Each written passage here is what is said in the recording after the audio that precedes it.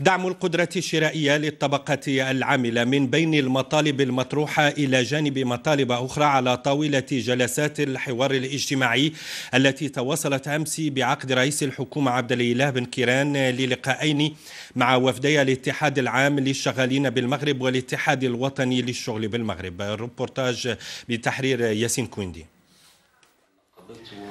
اللقاء جاء كجواب عملي على آخر مذكرة مطلبية رفعها الاتحاد العام للشغالين بالمغرب لرئيس الحكومة وذلك لمواصلة الحوار حول مطالب دعم القدرة الشرائية ورفع الأجور وحماية الحقوق الاجتماعية والاقتصادية للطبقة العاملة وإصلاح صندوق التقاعد.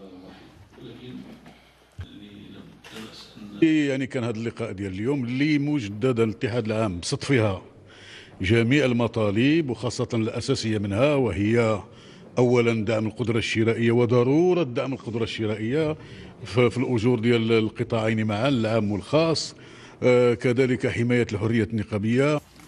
الاتحاد الوطني للشغل بالمغرب وصف الحوار مع رئيس الحكومة بالإيجابي والصريح حيث تركز على قضايا ذات الأولوية في أفق أن يتواصل الحوار خلال الأسابيع القادمة على المستويات القطاعية والمجالية.